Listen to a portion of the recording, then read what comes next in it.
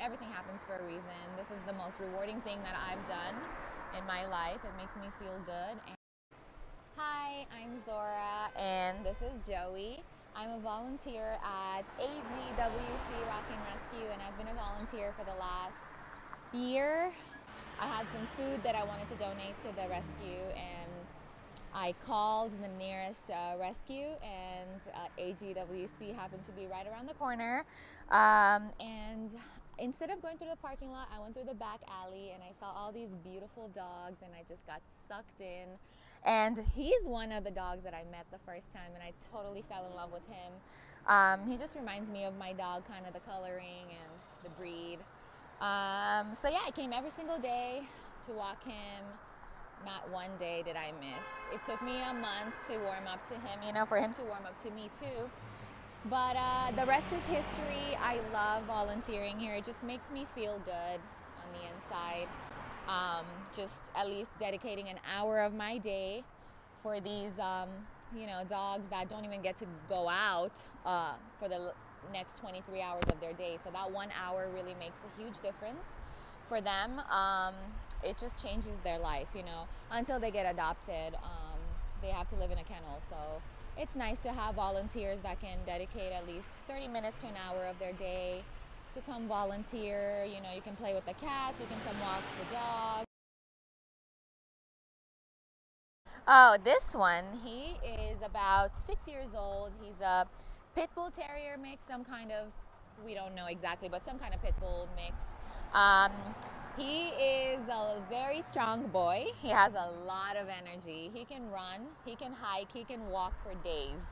Yes, he loves me. He wants me to pet him. Um, yeah, he's he's he's just such a sweet dog. He just has a lot of energies. He that's why he I take him for an hour because he needs that. He gets overstimulated and he gets too excited and that's not good. So um, an hour for him is usually you know um, the best, and then he's tired, and then we just hang out in the grass and and just you know I give him belly rubs and and he loves it all. But definitely would adopt him if it was the perfect world, you know. But he's my baby. He knows it too, and so yeah, if you have any time to spare out of your day, um, you can go to the Rockin' Rescue website to sign up for a volunteer program. It's going to be below this video. Um, it's super easy. It feels good as a person to be able to help these animals. Um, it's really rewarding in so many ways. Um, I've definitely gotten sucked into it. If I don't go to the rescue, I honestly don't have a good day. Just uh, visit the website. You can also come and meet all the dogs. They have a lot of dogs. So I just love them. I, I'm just so happy to be around them. They're so sweet. You know, they, they, a lot, a lot of them have been through a lot in life.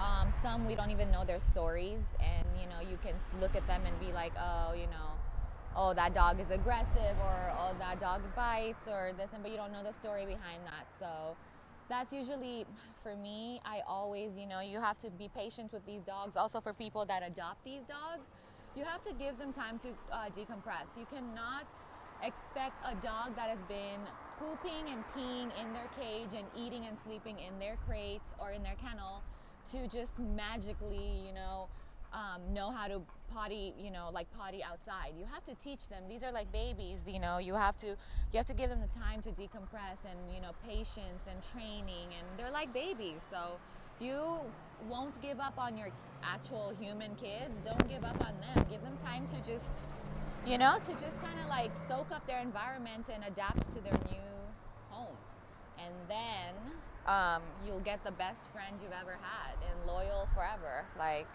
they never give up on you, so don't give up on them.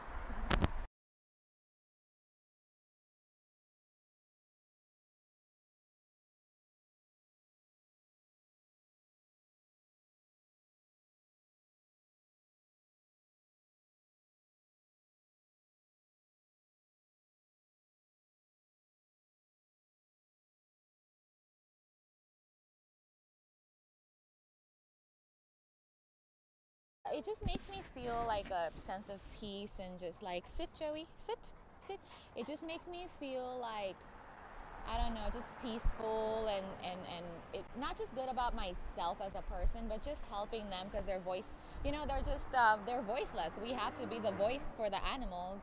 If you cannot adopt a dog right now, um, offer to foster. If you cannot foster or donate, if you cannot donate, volunteer. Um, you can, you know, it's it's super easy. All you have to do is just come in for orientation. They just show you how to be around the dogs, you know, just how to walk them, what areas to avoid, um, and then you can come anytime. Honestly, it's just it just makes you feel good. It's just a, a, a way to just give back. You know, it's just it's free. You don't have to pay anything. You just have to, and you get a workout. I this is a workout for me, cardio, one hour, and for Joey, and I love him so much. So. Yeah.